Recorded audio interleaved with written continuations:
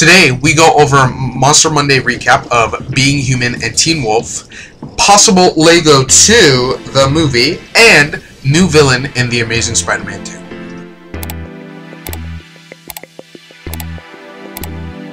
What's up, everybody? This is Totally a Fan, the show where I, a total fan, come to you and bring you the news of movies, comic books, TV shows, video games, and all that jazz. And I bring it to you simply because I wanna.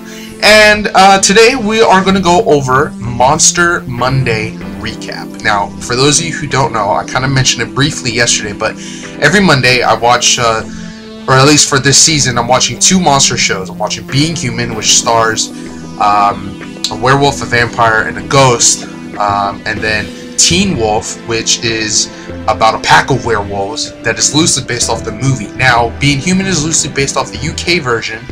Um, but from what I understand, um, there's a lot of things very similar. Now, I, I did see the UK version quite a while ago. I think when the when they were in the first season because I wanted to see what that was all about because my uh, friend got me into it.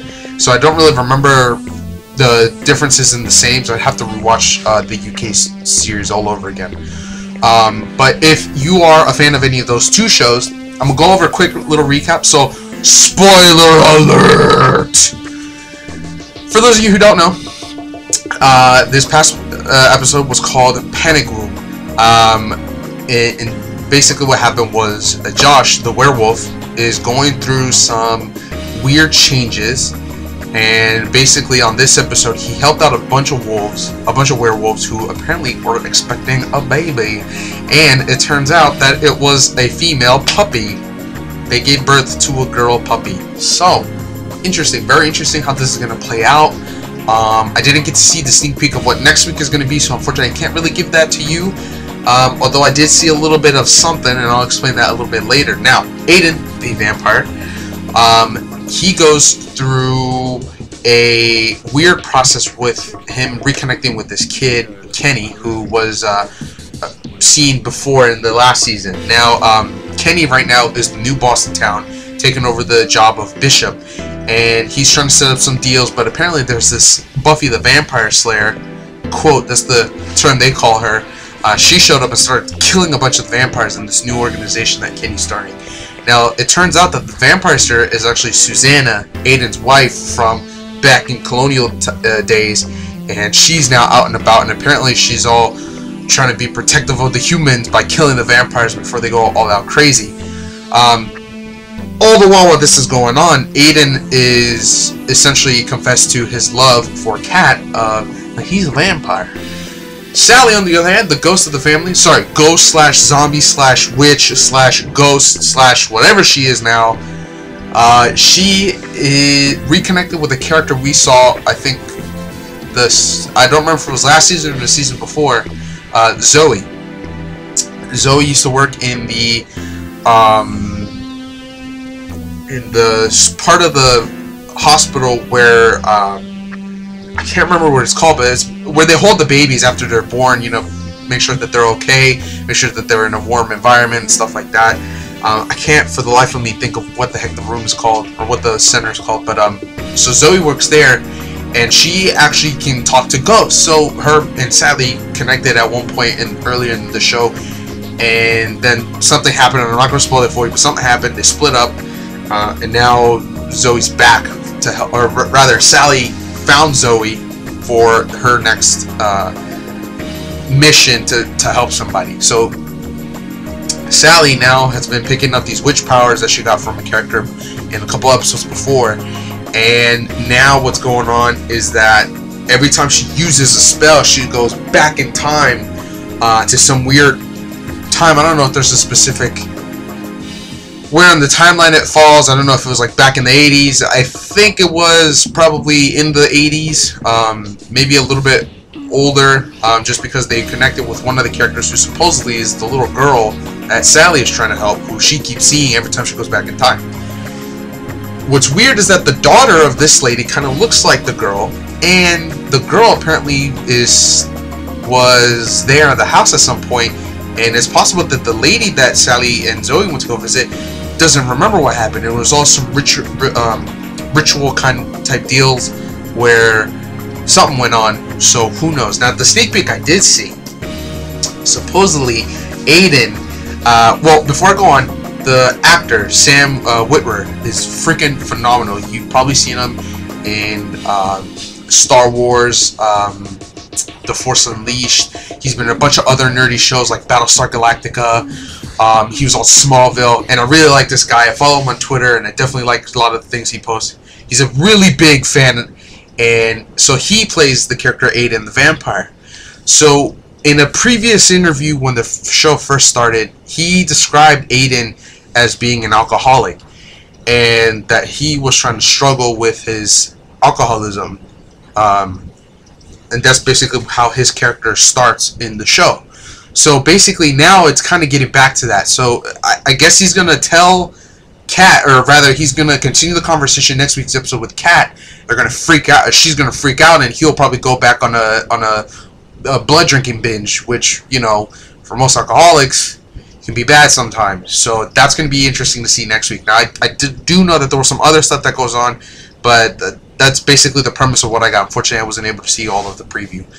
Um, so that looks super interesting. Next on Teen Wolf, um, so what's been going on is at the start of this mid-season finale, they, uh, from what I understand, they wanted to go into a Japanese type um, storyline with uh, a fox demon known as the Kitsune. Uh, the Kitsune is supposedly a trickster slash shapeshifter type uh, demon.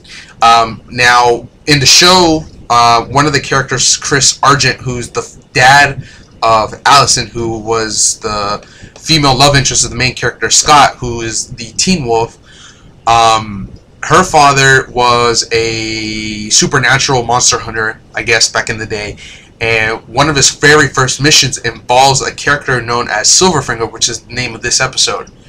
Um, the name of the gentleman was Katashi.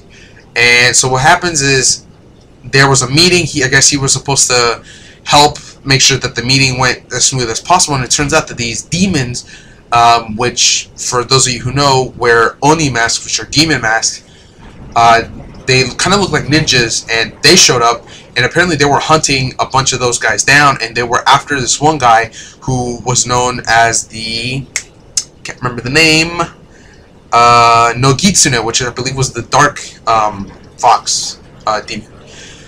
But so they talk to Katashi. He explains that there's 13 wolves, or sorry, 13 foxes, and that there's this one bad one. Now, while he's explaining that to Chris, Kira, the new female character who's added to the show, she kind of explains what she knows to Scott about how the kitsune and, and what they can do. And while this is going on, they're kind of getting a little bit close together. Now, prior to them meeting Katashi, um, the plan to try to talk to him, apparently he's a super hard man to get to. Uh, he is a member of the Yakuza. He's probably a high-ranking person in there. So they try to figure out a plan to get to that, and in doing so, it involved Chris Argent, Allison Argent, his daughter, the main female lead, or who was the main female lead, with um, Isaac, who was um, a wolf who was previously part of another pack and now part of Scott's pack. Um, so they ended up hooking up, and it's been kind of hinted at this whole um, a little bit near the end of last season and the start of this season that it was going to happen, and it happened. So that's uh, so that ended up happening. So that's probably going to play a little part later on. Even though we kind of already know that Isaac wanted to hook up with Allison, Scott already knows it's going down. So we'll see what's going on there. Now, for what I believe is going to happen next week, is on this last episode we saw that Stiles, who is Scott's best friend, he may be the Nogitsune, the the Dark Fox, and what I think it's going to end up happening is that he's going to be maybe we might see like a demonic possession type deal. Based off the sneak peek we saw he doesn't look like he can control it so much as what Kira can kind of do. Um, he looks like it's going to be just some experience that he can't handle. And it might be why he hasn't been able to sleep which by the way another little spoiler um, his mom apparently went through a lot of what he's going now so that's going to be weird. It's going to be interesting to see. So, guys, if you haven't seen these shows, Being Human, Teen Wolf, sorry, Being Human US version, and Teen Wolf, well, UK version too, go ahead and check it out. Get back to me next Monday on uh, Monster Mondays, and we'll see what's going on with that next week. Um, so, our next topic of news Lego 2 is supposed to be making a movie. Um, now the first one is supposed to come out this Friday. I'm super excited. When I first heard about it was actually when they released the first teaser trailer of it, and I have got to say, man, I have been behind this movie 100%. Every trailer I see, every time I hear about the movie, every time I hear people talking about the movie, I keep trying to tell them that this Lego movie is going to be awesome. Definitely, Legos are going to appeal to the kids. However, the movie itself, based off what we've seen, I feel like may also bring some element for the adults who may have had Legos in the past, or just maybe even some adult humor that um, that uh, you know the adults will will definitely enjoy as they watch this with their kids. Now, personally, the trailer, like I said, looks freaking awesome. It doesn't look like any Lego movie I've ever seen. Like the whole Ninjago, the Chima, the Lego Star Wars. I'm sure that's been on Cartoon Network here and there this looks like it's not going to be anything like that. This this new stop motion is going to look like it's going to be something similar to you know how when they came out with the new Lego set, you would see like the kid building the thing, you know whatever set was going on, just that's kind of what this looks like. Whereas the the other series that we've been seeing just looks like a three you know uh, a 3D animated uh, show or movie that was solely for kids. So that's what I'm trying to say is that this Lego movie is looks like it's going to be awesome for all age groups. Now, the again, uh, it's supposed to hit this Friday, and apparently they're expecting the movie to make about 40 million. Um, which I don't remember how much it made, but 40 million sounds like a pretty good win. So definitely we'll see what's going on with that. Now the team of Phil Lord and Chris Miller, um, they've worked on this first one. They've also worked on um, Cloudy with a Chance of Meatballs 2, 21, and 22 Jump Street. Now, supposedly what I heard is that uh, both Mr. Lord and Mr. Miller have a bad track record with sequels, but not just that, but also animated movies in general. But um, but since they are coming back for Jump 22 Jump Street, it, there's some hope that this second one's going to be awesome. Now, personally, since we I haven't seen the first one yet, I know there have been some like really early releases and stuff like that here and there. Personally, I'm super excited for the first one. I cannot wait to see the second one um, if they are going to move forward with it. Um, and I can tell you right now, I'm definitely it's going to be one of those movies I'm definitely going to buy on DVD when it comes out. I'm probably going to watch it a couple times at theaters. Yeah, I think it's going to be that good. So I definitely recommend going and watch the Lego Movie. Last, a bit of news today. Uh, the Amazing Spider-Man 2, Mr. Mark Webb, the director, tweeted earlier, I believe yesterday, and I missed it on my show yesterday, but he tweeted uh, a big props and big kudos to Mr. B.J. Novak about a new book supposedly he, he came out with, um, and kind of hinted at like a little parenthesis after his name as A. Smythe.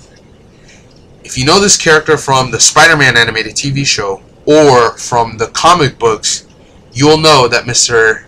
A. Smythe, also known as Alistair Smythe, is one of Spider-Man's rogues galleries. The story is Mr. Spencer Smythe, his father, created the um, the Spider Slayers, which, if you've seen the show, they look like these big robots. They look like spiders. I believe one was a scorpion, one was a spider, one was like a black widow spider. Um, in the comic books, it's it goes a lot more in detail, a lot more in depth, and it's really awesome. Um, so Mr. Spencer Smythe created these suits solely for catching Spider-Man, and unfortunately, he died due to technical failure. Um, you know, technology can't always trust it, but due to te te technical difficulties, he died. And Alistair Smythe decided, you know what, it's my turn. I'm going to do this in honor of my father. He then later becomes a mutant of his of his own doing uh, he himself becomes a Spider Slayer himself. Now, one thing I want to tell to all of you guys, the fans, I know there's been some complaints that there's too many villains, but honestly, I think that Mr. Smythe in the movie may not play a big role in the second one. Maybe he's going to be there. Definitely, if they're going to have Norman there, there'll definitely be some communication scenes. They'll probably exchange a little bit of dialogue maybe a line or two, um, and possibly set him up for the next movie. Possibly. But there's no confirmation on that. You know, I, I don't have any sources telling me that that's what's going on. I don't know 100% if that is what's going on, but that's only what I expect to happen because based off all the posters, off all the trailers that we've seen, the movie is going to focus on Rhino, Green Goblin, or Goblin, and uh, Electro. Now, from what I can gather, I definitely think Rhino is going to be an introduction to the movie. You know, we're going to see where Spider-Man now, you know, in the world today, what's he up to. He's probably going to be fighting Rhino. So I don't expect Rhino to be the biggest villain in the movie. I definitely think that's Electro. Electro is going to be, you know, probably 60% of the movie. Maybe 10% is going to be um, Rhino, and everything else is going to be our glimpses of, of Goblin. Um, I definitely think that we may see a little bit of Goblin. Um, it's possible that the second movie could be a uh, may have like a, a cliffhanger at the end with Goblin. Like maybe they're about to fight and we don't really see it. Now I don't know if that's gonna happen, but that that's kind of what I I'm thinking. I definitely think the main movie is gonna center center around uh, Electro, with um, Rhino being the introduction to the new movie, and then Goblin possibly being at the end. Now it is possible he can show up here and there, because I definitely think the character Harry is going to be throughout the movie, but um, I think he himself as Goblin is probably going to be later at the end. So that's where I think is going on. So that's it for the news. Now we'll go to your questions. Now, unfortunately, this week I didn't get too many questions, and you guys haven't been commenting on Twitter or anything like that. And I know I have a, have a couple of followers, so guys, you know, if you guys have any questions, if you guys have any topics you want to hear about, if you guys are unsure about anything in the news of fandom, or if you guys want anything, you know, go ahead, tweet me or post a comment, follow me, let me know. I'm always happy to help, and I'm definitely want to know what you guys think, especially about news, what's going on today, and, and about my show. I want to make sure that I'm giving the content that you guys want. Um, so, our first question, sorry, our only question, I didn't get too many questions this, uh, today. Alright, sorry guys, I had to go take care of something, um, so I had to kind of cut that, that clip right there. But, um, so we'll go to our question, and the question comes from a Mr. Andre. Black Nerd Comedy? I hope so. Uh, oh, um, one thing I do want to mention is a lot of the emails that you guys get, or sorry, that you guys have been sending, comes in, I guess, from uh, Gmail, looks like. And so for some reason it's showing your first name. So if you guys want me to use your um, your username or uh, your handle, whatever you guys want, make sure you guys note that as uh, the first part of your question. Because um, otherwise I'm just reading what your what it shows as your name, so I apologize. Um, so Mr. Andre states, Dear Totally Fan, I like your show, I like your content. I definitely think that the video needs some additional work, but it looks great. Thank you, Mr. Andre. I've been getting some of these emails a bit, and uh, like I said on last video, I definitely want to make sure that my quality to you guys is, is up to par. Um, so I do apologize for anything that's wrong here and there, but moving forward, um, what is your take on the possible rumor of the post-credit scenes for Captain America being leaked? Quicksilver and Scarlet Witch are some of my favorite Avengers, and I definitely think it'd be awesome if they be, are in the movie. Thanks, and keep up the good work. Wow.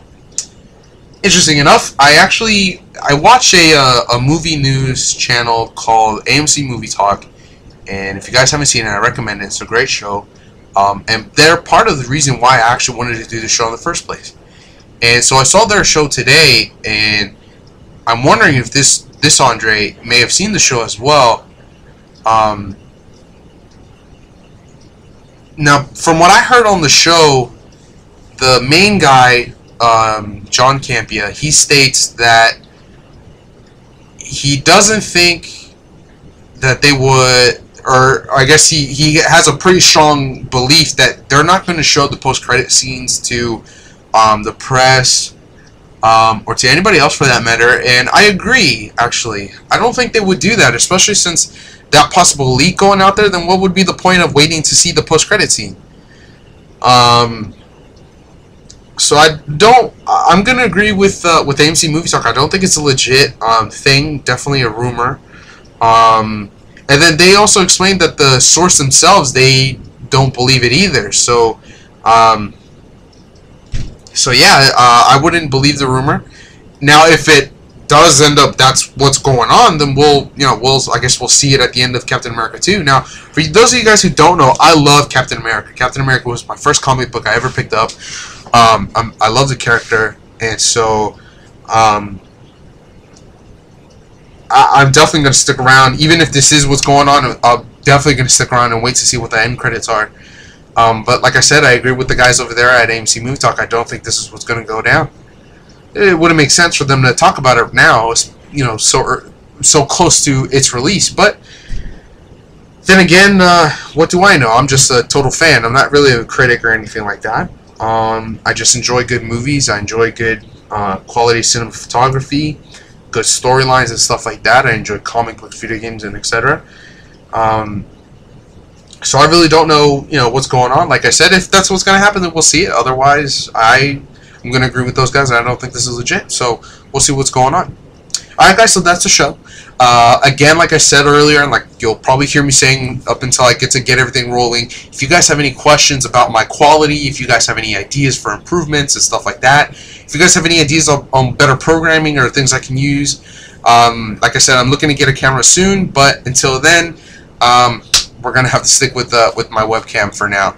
But I definitely want to give you guys more content with better quality videos. So please, please, please stick with me and please expect that to come out soon. So again, that's the show. If you guys have any questions, comments, concerns, anything like that, go ahead and follow me on Twitter. Go ahead and post a comment downstairs. All that contact information is to be downstairs. Or you guys can send me an email. In addition, uh, no, it. that was it. So if you guys have any other questions, comments, or anything like that, go ahead and post downstairs. Let me know. Also, hit that subscribe button. If you like this video and you would like more videos or more content, click subscribe because I try to come out with these every day and I definitely want to give you guys more news and more information. Now, somebody um, I actually spoke to suggested maybe doing one um, topic a day. That's a possibility, but there's so much information that comes out. I don't want to miss everything. Um, so we'll see how that works. Um, it's possible I could make uh, Monster Monday recap, make it one whole show, and I could possibly do it on Mondays. Um, the weekends, I don't really have any plans to do any kind of weekend shows, at least not yet, anyways. Um, and I was thinking about possibly doing Let's Play videos with uh, some of the games I used to play as a kid, so that could be a possibility, but we'll wait and see. But like I said, just go ahead and post anything. Let me know what you guys think, and definitely be something to look forward to. So until then, I'll see you guys next time.